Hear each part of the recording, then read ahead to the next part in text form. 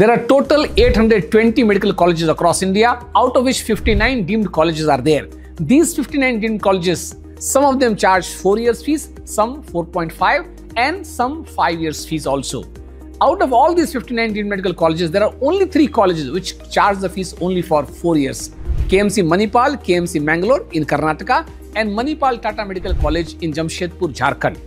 These are the only three colleges which charge fees for four years. And how does it make a difference for you as a candidate?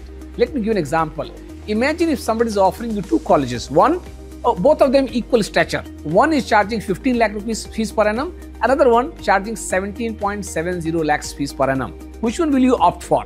Perhaps you'll be tempted to say 15 lakhs rupees fees per annum. But imagine if that college is charging 15 lakhs rupees fees per annum for five years, it will come to 75 lakhs.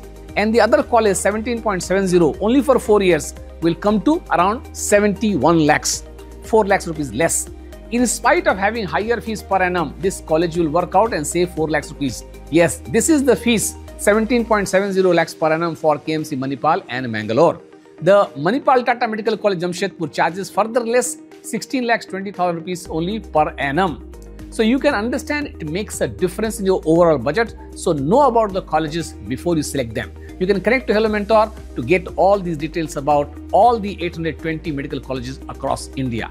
Of course, remember that these three colleges have higher cutoffs. Like KMC Manipal has 43,835 is the cutoff for this year, 57,000 for KMC Mangalore, and uh, 79,731 for Manipal Tata Medical College Jamshedpur. Stay tuned for further updates. Thank you.